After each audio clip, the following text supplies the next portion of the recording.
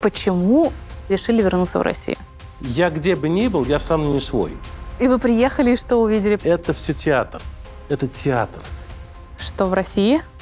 Француз, англичанин, немец. Это вот априори лучше, чем мы. Ну, только единственное, что, да, могут сжечь машину. Но сумку в центре точно не украдут.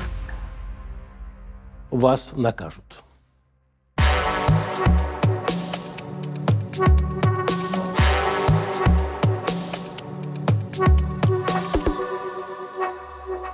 Это новый сезон проекта «Мы и они» и я его автор Мария Шахова. Мы с командой подготовили много классного контента. И сегодня у нас в гостях необычный герой. Он родился и вырос в России, но в 90-е эмигрировал. А сейчас решил вернуться обратно. Почему? Расскажет он сам. Аркадий Недель. Философ, писатель. Уехал в Израиль на 8 лет. После перебрался в Париж ради философии и работы с известными мыслителями. Через 20 лет вернулся в Москву, потому что жить и творить ему лучше всего в России. Не понимает, почему русские не умеют гордиться собственными достижениями и возводят на пьедестал все иностранное. Аркадий, здравствуйте. Здравствуйте, Маша. Спасибо большое, что вы приехали сегодня ко мне в студию. Спасибо, что пригласили. Аркадий, хочу начать с самого начала. Вы родились в Ленинграде. Да. А после окончания школы вы поступили в МГУ а, и в 90-е годы переехали в Израиль. Да. А после Израиля, соответственно, переехали жить во Францию. Да. Теперь, спустя какое-то время, вы вернулись. Предлагаю по порядку. 90-е а, годы, мы знаем ситуацию, которая происходила в стране на тот момент. Вы уезжаете в Израиль. Это своего рода релокация, как сейчас модно говорить? Или что это было? Я бы не сказал, что я был релакантом. Это попытка м- открыть мир. Вот, вот через, то, через то окно, которое, вот, которое было дано. Да? Что тогда действительно израильская виза можно было получить уже там, в, конце, э, в конце перестройки, можно было там, в начале 90-х можно было получить очень, очень просто и, соответственно, выехать и э, посмотреть э, мир другой открыть. Это было, это было самое такое простое, вот, э, самая простая возможность, которой, собственно, я воспользовался. Надо понимать, что такое было был конец 80-х, да, и особенно для гуманитариев, потому что мы были, э, как вам сказать, мы были изнасилованы вот этой эм, советской идеологией, вот этой марксистско-ленинской идеологией, которая уже к тому времени не имела никакого смысла. Это была абсолютно такая а, похожая на такую форму эм, всем надоевшей мантры. Вот. И поскольку я был гуманитарием всегда, э, то, соответственно, это все нужно было учить Эм, воспринимать, смотреть через это и прочее, прочее. Потому что другого как бы не, не долгое время не предоставлялось. Вот только там уже где-то с середины перестройки действительно начались публикации интересные другие вещи. И поскольку вот повторяю, мы были изнасилованы вот этой идеологией, то хотелось что-то нового, хотелось чего-то вот любого, но другого, нового. Вы бросили буквально университет, да. лучший университет страны. Потому что мне, у меня была идея не получить советский диплом. Она идея, конечно, глупая. Я сейчас сегодня, конечно, бы так не сделал. Но тогда, когда тебе там сколько, 17, 19, 20 лет, тогда, конечно, эм, это, это просто воспринималось как такое клеймо, и не хотелось его иметь. Но вы приехали в Израиль, вы прожили там, к слову, 8 лет. Чуть поменьше, вот да. Помните свои вообще ощущения? Ты вдруг оказываешься в мире, который абсолютно тебе не знаком, абсолютно. Я начинаю с языка, в общем, ну, мы там учили что-то такое, там где-то, да, в, условно, в академических подворотнях этот иврит, который учебников тогда не было нормальных.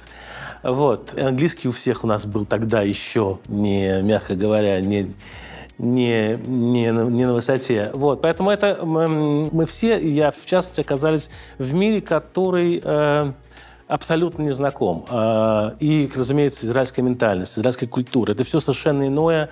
А чем иное вот, вот на конкретных? Вы знаете, всем.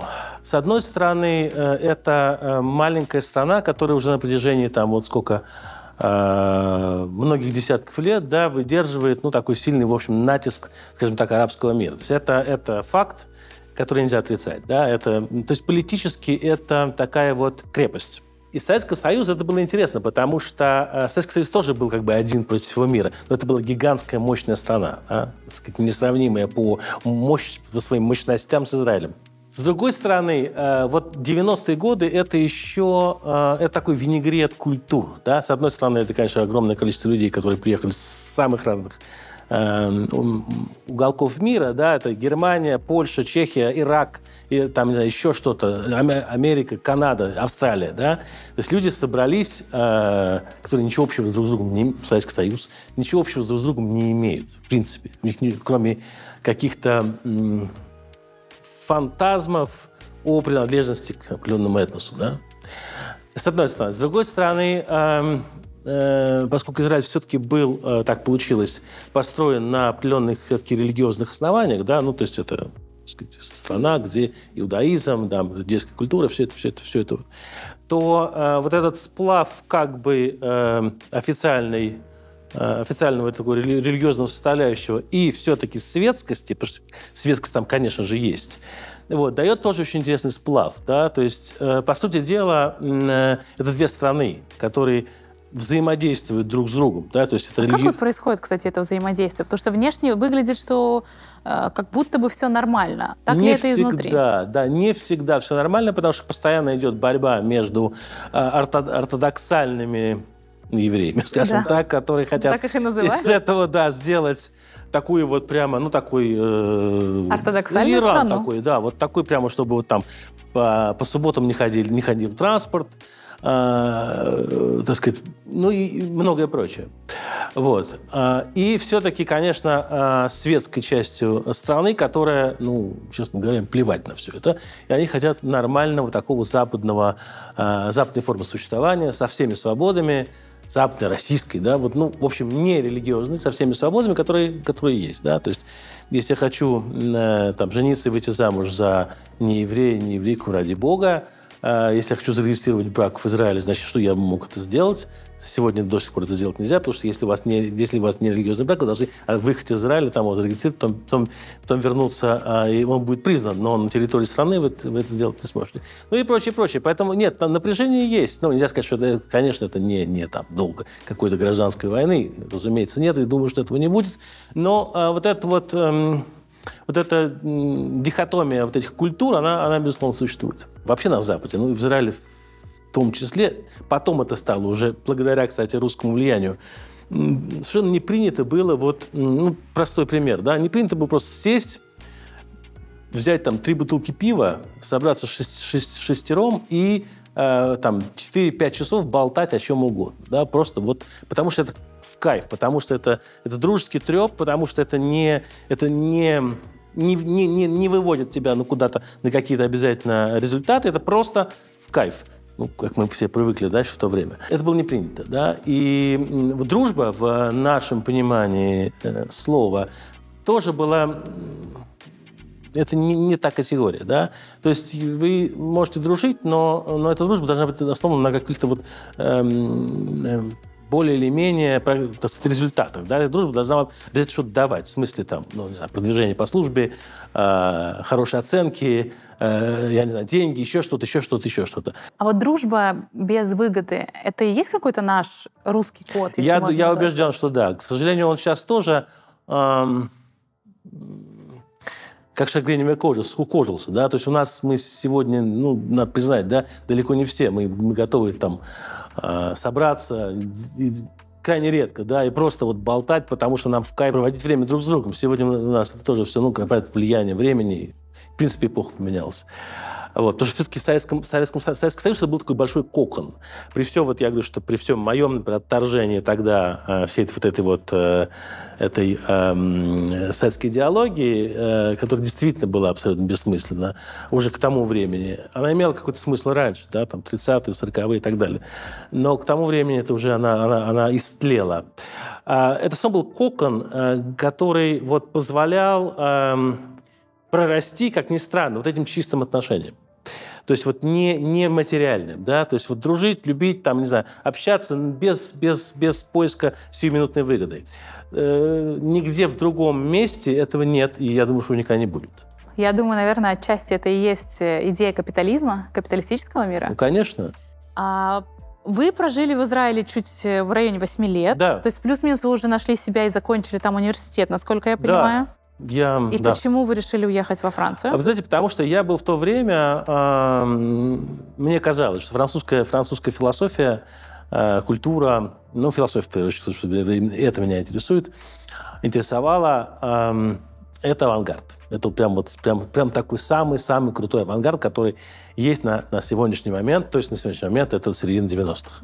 Да, потому что аналитическую философию э, англосаксонскую э, я э, изучал, разумеется. Это, знаете, это, это, вся эта вот и философия языка, вот это, все эти такие вот вещи. Но она мне казалась очень э, прагматичной и далекой от человеческих проблем. Вот, поэтому я ее... Э, для меня это был как математика, как алгебру изучать. Ну, я изучал алгебру, да, ну, изучал. Но, как сказать, струн души меня это не, не, не, никак.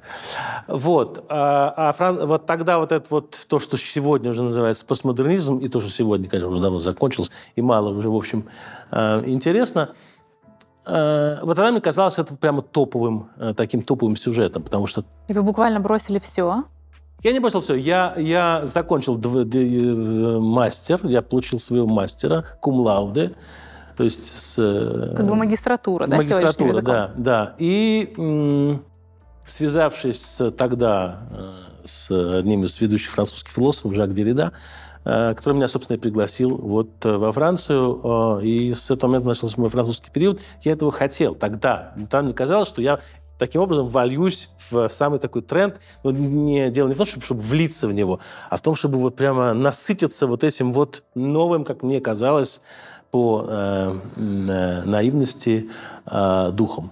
Этот дух оказался не таким новым Нет, или что? Э, безусловно, потому что, во-первых, это э, был большой обман.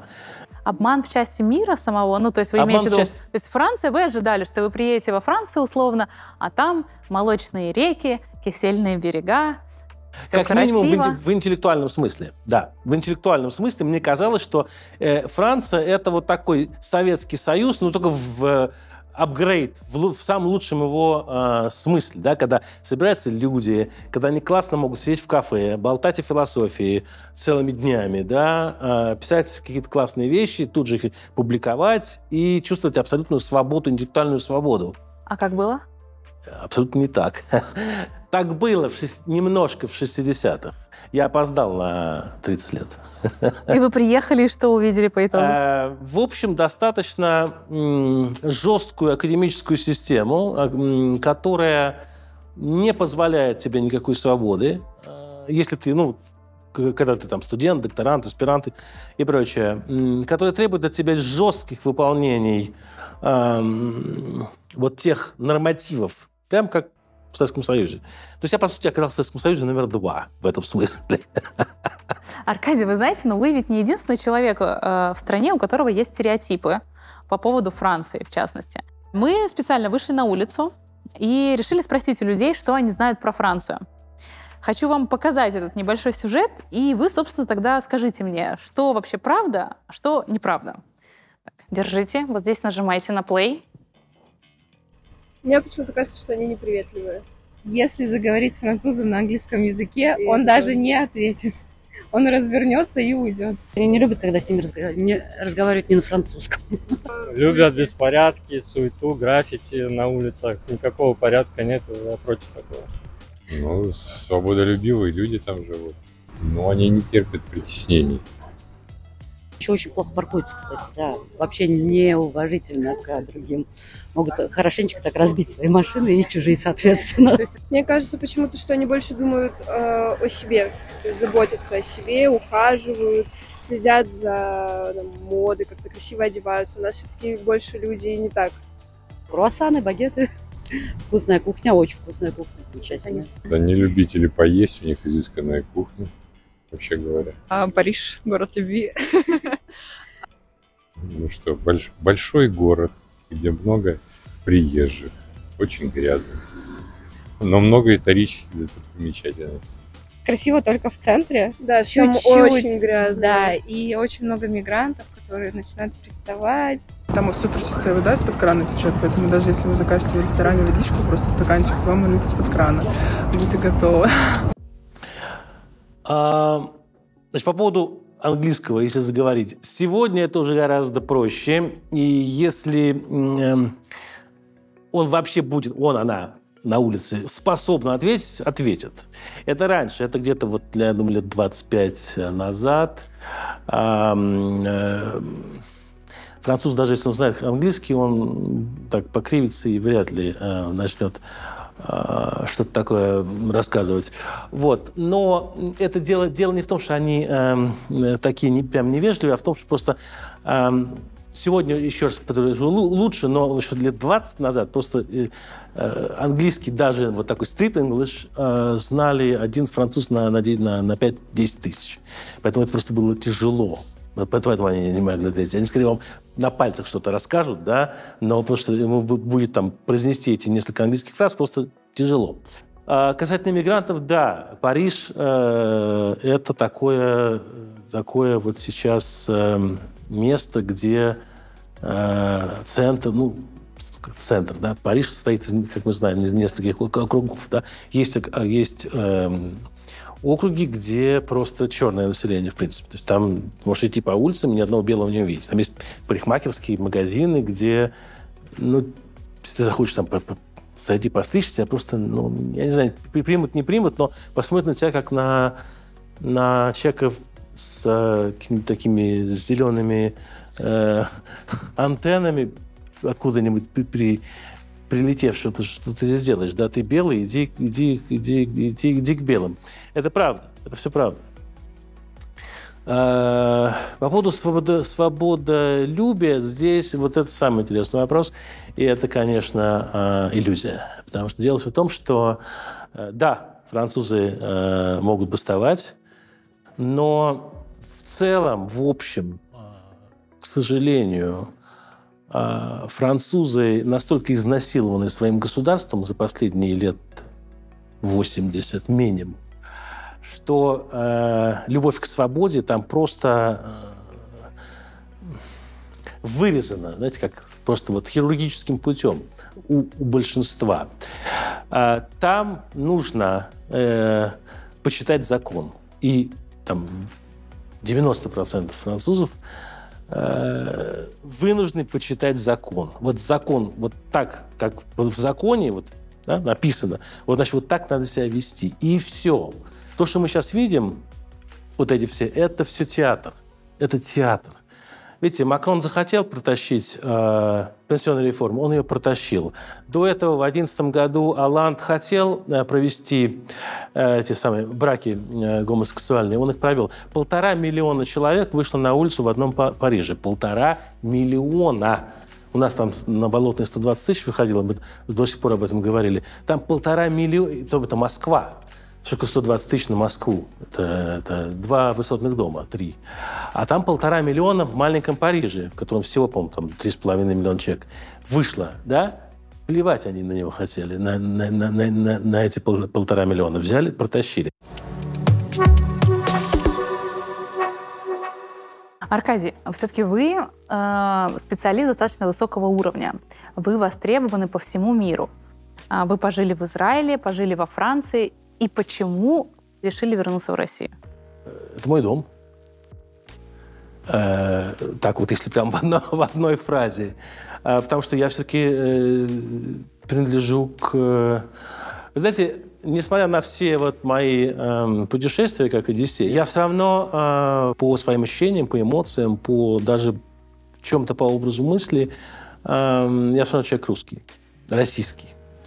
Вот. И э, это моя территория, это мое пространство, где я не говорю о том, что это мой язык. Как бы я хорошо не знал иностранные языки, есть несколько языков, которые я знаю очень хорошо, в том числе французский. А, ну и английский, может быть, даже лучше. Вот, я пишу на этих языках, я на них говорю, выступаю и так далее. Поверх языка есть некая система эм, ощущений, чувственности, принадлежности. Эм, Некая ментальность. Свое, да. Вот я где бы ни был, я все равно не свой неважно, сколько я там лет прожил, и проживу, и прожил бы, я все равно не свой. И я это прекрасно знаю. А как вы думаете, в России есть такая проблема? То есть, когда человек иностранец при, при, приезжает в Россию или там переезжает в Россию, он тоже всегда чувствует себя не своим? Да, но дело в том, что в России м- есть такая вещь, как, ну, по крайней мере, вот, я не знаю, ну, в моем представлении, а, вот это искреннее дружелюбность. Понимаете, а, то, как всегда принимали иностранцев в России, ни, одна страна никогда не принимала. Никого. У нас же, в принципе, вот страна для того, чтобы вот восхи... Ну, по крайней мере, это, разумеется, там пошло с Петра Первого и так далее. До сегодняшнего дня мы восхищаемся ино... всем иностранным и иностранцами. То есть француз, англичанин, немец. Это вот априори лучше, чем мы. Мы должны... Он приехал, чтобы мы не учились. Абсурд, в принципе. -то. Абсурд. Но это так. Это вот есть такая, такая, такая штука, которая вот в нас, э, в нашем культурном коде вот вшита. Аркадий, хотелось немножко поговорить о вашей работе. Вы философ, писатель, очень много путешествуете по миру и выступаете а, с лекциями на самых разных площадках мира. И вот интересно, понятно, что наверняка самой, самой комфортной страной для себя вы считаете Россию. Да. Я делаю вывод, то, что вы здесь все-таки живете сейчас. А если помимо России, вот какая страна еще комфортна для проживания, на ваш взгляд? Смотря что искать э, и что, что, что хотеть. Да? А, даже Франция может быть вполне, вполне комфортна, если э, у вас много денег, которые вам, самое главное, позволяют не быть связанным с французской системой.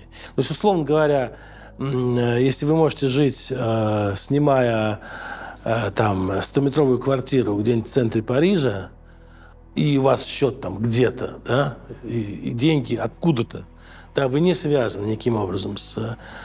Отлично. Bienvenue. Можете там сказать, э, вот как девушка сказала, да, хорошая кухня, э, парки есть, э, к политике вы не имеете никакого отношения, ну, там ходят какие-то эти самые маргиналы, там что-то против правительства, ну, их задавят, когда надо, и никаких проблем. Ну, только единственное, что, да, могут сжечь машину. Но все-таки это больше там где-то в, в, на окраинах. В центре все-таки, ну, хотя и бывает. Ну, ничего там, в каждом случае э, вернут деньги. Ну, а условно, работать где лучше, во Франции или в России? Где больше платят? Ну, платят, смотря как. Смотрите, э, если брать вот зарплаты, то университетские зарплаты э, европейские выше по, по, по, по среднему, да, чем чем, э, в России. чем в России. Но там и уровень жизни, я так понимаю, выше. Ну, то есть, условно, Нет, я... за, за коммуналку ты платишь больше. Вне всяких сомнений. Ты платишь больше за коммуналку, ты платишь больше за, за все остальное. Ты платишь больше даже за кусок хлеба. Да? Э, за стейк в кафе ты тоже заплатишь больше, чем у нас. Вот. И, между прочим, у нас тоже хорошие стейки делают. Так что да. Ну, в Москве это еще более-менее. Если центр Москвы, то более-менее это еще как-то сравнимо. А, вот. Но э, у нас есть другие всякие способы, да, у нас есть там, даже если у тебя зарплата изначально не, мягко говоря, не, не на уровне, как у них, то есть какие-то иные способы, да, которые эту зарплату могут поднять, ну, более-менее это может быть сравним. Хотя, конечно же, в любом случае там пока академическим людям денег э, платят больше. Но в Москве другие возможности есть, которые, которых нет там. А если говорить о философии, вот я знаю, что э, вы преподаете, ну или, по крайней мере, до ковида точно преподавали в университете Шри-Ланки. И как вообще философию воспринимают в Азии и в Европе? Все-таки это такие две тотально да, разные отличный вопрос, да, Маш. Смотрите, их, конечно, больше всего интересовало а, э, буддистская философия, но они же все они буддисты, понятно, и, э, ну, или какие-то параллели между буддистской философией и европейской. То, то, что, собственно, я преподавал там действительно до ковида, потому что потом это как-то все... Для них философия – это практика. То есть любая философия э, должна выводить тебя, в конце концов, на некий уровень не абстрактного мышления, как у нас, да, хотя тоже хорошо, а, вот, а на некий уровень э, самопознания и освобождения от сансары. Сансара – это вот, да, жизненный цикл. Да, все вот это вот то, что нас окружает. Вот. Э, потому что идея, чтобы выскочить отсюда. То есть философия должна быть в этом смысле практичной. Еще раз говорю, практичность не в смысле заработать деньги и с ней, а именно вот э, достичь некого уровня понимания себя, мира и освобож... понимания-освобождения. Это задача номер один, э, ну, если ты настоящий э, философ. А на Западе совершенно другая ситуация, да. Ну, сегодня вообще это я не побоюсь сказать слово катастрофа, то, что происходит в гуманитарной области, потому что просто элементарно закрывают э, кафедры, интересные кафедры. Вот пример, да, том же Париже, Коллеж де Франс, одна из самых таких старейших университетских институций особая, она отличается там, от Сорбона и прочее, потому что там не, не выдают таких вот просто дипломов. Это такая, как бы такой вот храм свободы интеллектуальный. Там была замечательная кафедра э, иронистики, да, то есть э, один из лучших специалистов в мире, Жан Келенс, который вот э, обучал, рассказывал про духовную культуру древнего Ирана. Он ушел на пенсию, кафедру закрыли. Все, просто нет. Вот сейчас, если ты хочешь изучать эти вещи, тебе их негде изучать. Почему закрыли? По какой причине? Ну, потому что ну, ни, ни, никому не нужно. Не нужно? Не нужно никому. Зачем? Ну, ну я... тогда вопрос. Смотрите, вот восприятие э, в Азии одно, в Европе другое. Что в России? Мы же все-таки где-то да, на мы... середине. В России... Где-то на стыке. Мы, как всегда, синтезируем. Мы, как всегда, синтезируем и ищем. Мы хотим ведь что-то э, всегда, что-то такое особенное.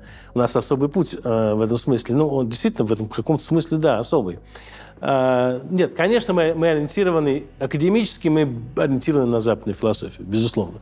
И все наши программы, все наше вот это вот, оно, оно, оно построено под... Значит, Тогда, во времена Советского Союза, это была немецкая система, сейчас это ну, некая такая европейская, баллонская, то, что называется, угу. которую, я надеюсь, просто уберу в какой-то момент, потому что это, это это абсолютная профанация. Э, она ничего не учит. Но если говорить так более глубоко, то Россия, конечно, не, э, Россия не философская страна, а литература центричная.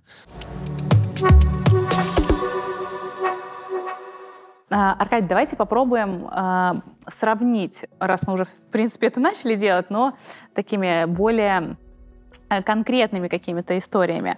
Я знаю, что во Франции очень развиты э, книжные магазины. По-моему, если мне не изменяет память, то на последнем Питерском экономическом форуме говорили о том, что э, во Франции их более 5000 штук. В маленькой Франции. А в России всего 2000 магазинов. Почему так произошло? И мы ведь были самой читаемой нацией. Э, или, в, или, или, не знаю, или во Франции для чего-то другого открываются книжные магазины? Настолько ли они читающая нация? Не могу понять. Отлично, Маш, давайте разберемся. Значит, смотрите, во-первых, вот если по России не знаю, но вот Москва. Я очень хорошо знаю книжные магазины в Москве. Вот если берем центр Москвы, здесь вот в, там от Арбата до Пушкинской и там, я не знаю, до Лубянки, вот какой-нибудь вот такой треугольник, там можно найти штук 20. Согласна. И статистика – вещь упрямая. Да. Э, магазин, магазин, понимаете, если у вас, э, если вы открываете магазин, и у вас там, в этом вашем книжном магазине, есть отдел, э, значит, вот отдел книг, там стоит биография Макрона официальная, там стоит какой-нибудь Эрик Зимур, и там стоит какие-нибудь, ну, аналоги нашей Дарьи Донцовой. Есть такое. Угу. Вот это вот, да, вот в таких вот дешевых э, изданиях мягких. А дальше у вас ручки, карандаши, и фломастеры продаются. Это называется книжный магазин. Таких магазинов там действительно может быть хоть 20 тысяч. Но это не, это не книжный магазин. Это, это вообще ничего. Ну, давайте тогда сравним какой-то уровень, общий уровень образованности и начитанности между Россией и Францией. Ну, раньше, конечно, э, э, в России читали, безусловно, больше, потому что чтение было единственным, э, э, так сказать, вот таким тоннелем, да, таким этим самым wormhole, да, к, к, к, к чему-то. Вообще знание было в России всегда почти сакральным. Да, потому что, слушайте, я помню, как я э, мечтал и делал всякие вот, я не знаю, чуть ли не документы поделал, чтобы меня, еще будучи школьником, записали в Ленинскую библиотеку. Меня не записывали просто так. А уж в НИОН это вообще было... А не он, не он это библиотека иностранных литератур. Да, туда попасть, это как примерно как в Ватикан попасть. Это вот даже, может быть, круче. Сейчас, э, поскольку все сравнялось, сейчас любая, почти любая книга двумя кликами находится на интернете, это, конечно, вот это сакральное знание, она, она как бы исчезла. Но говорить о э, Да, мне хочется верить, что все равно Россия наиболее читающая сейчас страна. Ну, давайте тогда По-любому. вот так попробуем оценить. А, Вы преподаете в российском вузе и а, сейчас, по-моему, до сих пор преподаете во Франции в том числе. Ну, сейчас уже нет, но вот там, Ну, преподавали. да.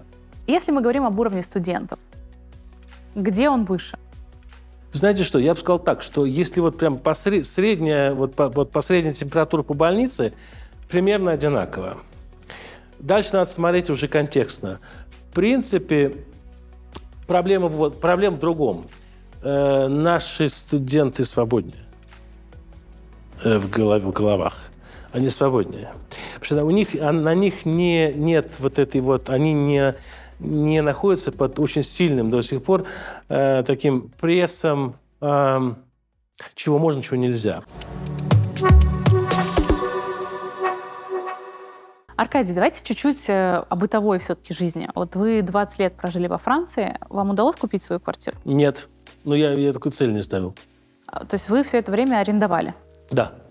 Дорого, недорого, легко, А, сложно? Зависит, э, э, с- достаточно сложно, но э, дорого-недорого зависит, зависит от, от, разумеется, от района. Почему сложно? Потому что в отличие э, от Москвы или там любого российского города, насколько я знаю, здесь вы звоните э, арен- этому самому арендодателю, правильно? Либо, либо через... Ну, это- собственнику квартиры. собственник, либо через, через, Агента. через агента. Говоришь, вот я такой-то, меня это устраивает, хочу посмотреть, я готов заплатить. Встречайтесь с собственником, нравитесь друг другу, залог, все, квартира ваша. Во Франции это абсолютно невозможно, потому что в Франции должны еще быть гарантийные письма. Гаранты должны быть, не письма, гаранты. То есть люди, которые э, должны подписать письмо, что в случае, если вы не способны э, будете заплатить э, аре- арендную плату месячную, они будут за вас платить. Вы можете представить, как легко найти таких людей? Особенно, если у вас нет ни знакомых, ни друзей. Я помню, мы- мы с моим приятелем, вот э, у нас такая была проблема, это был 2005-2006 год, была бы реальная проблема. Друг другу писали? Нет, друг другу бессмысленно, потому что мы никто. У нас нету, ну что, таких два русских... ну, Нужно было найти француза, нужно было найти человека, так сказать, хорошо сидящего, да, у которого есть... Там же надо еще бумажки предоставить, что у тебя э, зарплата, что, что деньги приходят ежемесячно. Причем деньги не просто деньги, деньги должны быть в два с половиной раза больше, чем э, Аренда, Аренда. плата. то есть, условно говоря, если там тысячу евро аренда, то две с половиной тысячи минимум у тебя должны быть э, у того человека, да, который является твоим гарантом. Без такого гаранта тебя не, не- не- никто не, не сдаст. Ну, только если там бомжовая квартира где-нибудь там э, без, я не знаю, без, э, без окон и с, с, с- с проваль- с провалившейся крышей, может быть, но что-то что-то более не менее нормальное, это, это, А это такое риск тоже исключено. Сдают все, что угодно. Да. И снимают? Снимают, а что делать? А если говорить о э, взаимодействии с банками? То есть у меня вот подруга, она жила какое-то время в Монако, а, и она просто хватается за голову и говорит, что, боже мой, люблю Россию, сейчас живет в России. Она говорит, это, это просто рай. Расскажите вообще о бюрократии во Франции и о банковской, Ну, в ну, частности. Ну, ну, бюрократия, бюрократия там крутая, да, бюрократия там крутая. То есть ты... эм, э, ну, раньше ты мог открыть счет, э, правда, было лет тоже 20 назад, ты мог, сейчас я не знаю, сейчас, ну, сейчас, сейчас, в общем, э, это сложно сделать, если ты там иностранец, тебе нужно, конечно, огромное количество... Ну, иностранцу, да. но- А если ты фран... ну, фран- нет, ты открываешь, не дай бог вам уйти на 10-5 евро в минус. Да? То есть я почти я, я, я не утрирую практически. Да? Э, И э, в этот минус у вас, у вас будет минус 5 евро. Значит, если там, ну или 50, давайте так.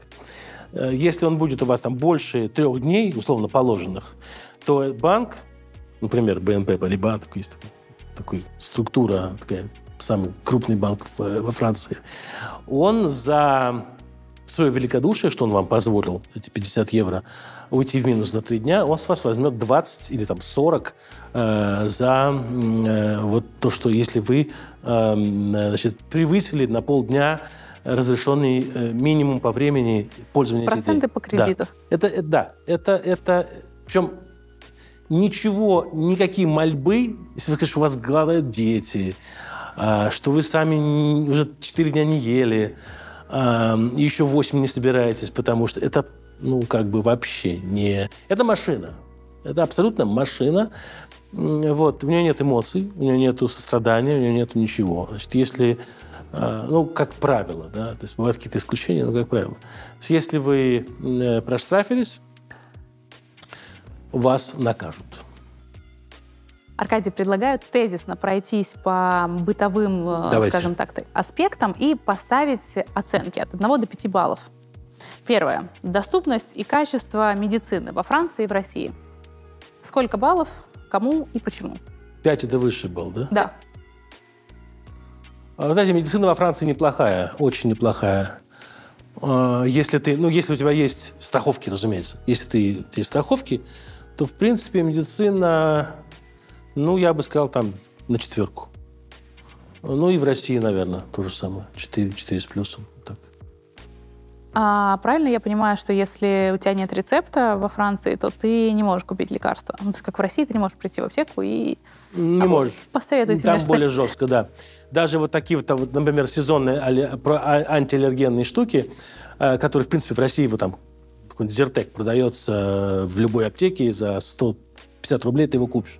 Там у тебя потребует э, рецепт. Чтобы получить рецепт, нужно пойти к врачу, заплатить, соответственно, деньги, и если у тебя нету э, страховки. Но в любом случае, это еще там две, одна, два, две операции и трата времени, да, это, это есть. Безопасность в России и во Франции. Я бы сказал, вот где-то тоже, наверное, на четверку. Есть районы, куда даже полиция не во Франции не приближается. А Последние лет 10, конечно, с наплывом, гигантским наплывом иммигрантов, э, она, конечно, упала, безусловно. То есть есть районы, еще раз повторяю, куда даже полиция не суется, потому что там просто можно получить по... Вот. Ну, я думаю, чуть, не знаю, ну, во Франции три, в России, наверное, может быть, четыре, потому что в Москве, в общем, безопасно. Если говорить о Москве, Питере, ну, в общем ну, можно, конечно, получить по морде случайно, но ну, бывает, это жизнь. Но сумку в центре точно не украдут. Ну, вряд ли, вряд ли, вряд ли. Качество транспорта во Франции и в России. В России э, с транспортом это топ. Э, Учитывая с, с Яндексом и со всеми этими делами, это топ, это, это просто топ. Это 5 с плюсом. Во Франции, э, ну, 4-4 с плюсом. Уровень комфорта жизни во Франции и в России. Париж, Москва или вообще вся Франция? Давайте попробуем Париж, Москва и Франция, Россия. Э, В Москве э, комфортнее. Просто в силу вот этих вот всех наших на, изобретений типа Яндекса, Яндекс.Маркета и прочие вещи, это, этого нет. Вам в любой момент э, дня и ночи могут доставить э, пиццу. э, матрасы. Да, макароны или, или матрасы, да. Ради бога, вообще никаких проблем. Во Франции такого нет, да. Так что 5-4. А если говорить о Франции и России?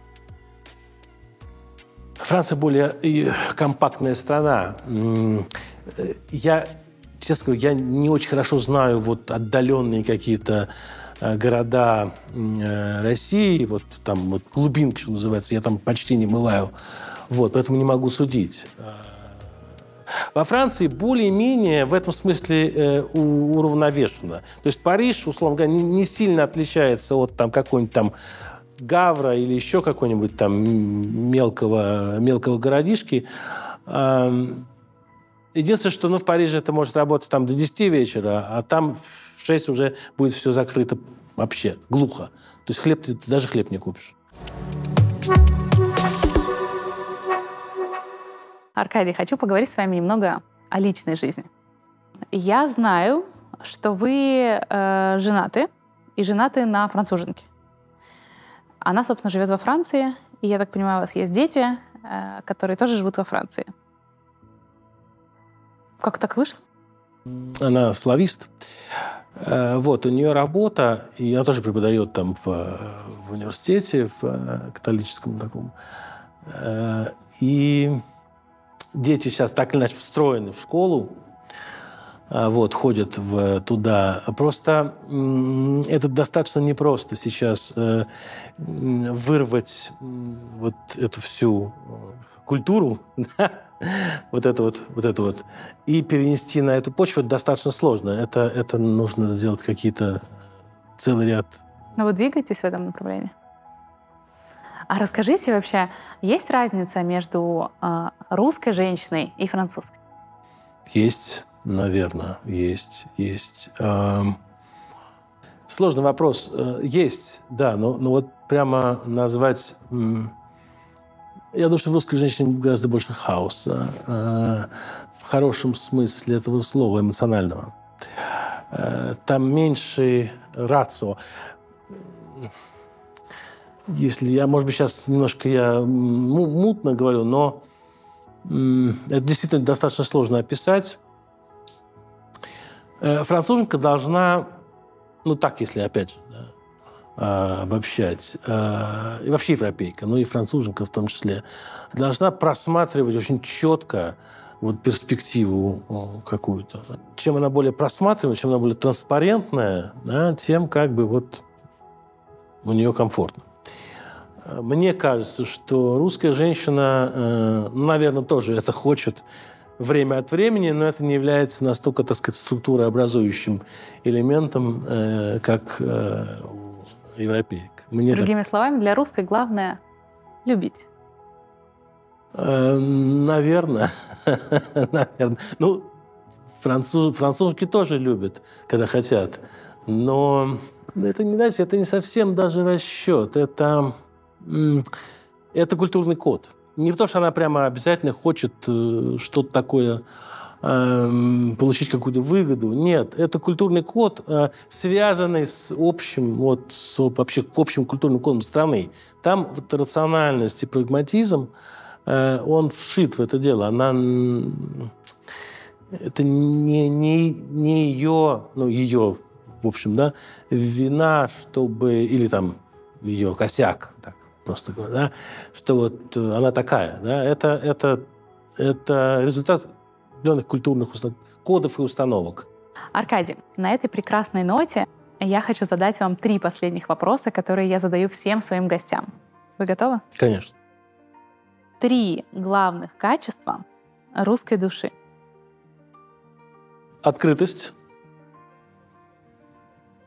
щедрость, незлопамятность. Три вещи в России, к которым вы никак не можете привыкнуть или смириться. Обожание иностранного, преклонение перед ним – Отсюда недооценка себя и невозможность построить мощной академической философии. Как вы считаете, что русскому нужно для счастья? Выплеск эмоций, чтобы можно было э, везде и всегда, когда он этого хочет, быть эмоционально тем, кем он является выплеск эмоций. А, вот это, это, это, это очень важно. Спасибо вам большое за сегодняшний разговор. Кажется, очень интересно получилось. Спасибо, Маша, вам.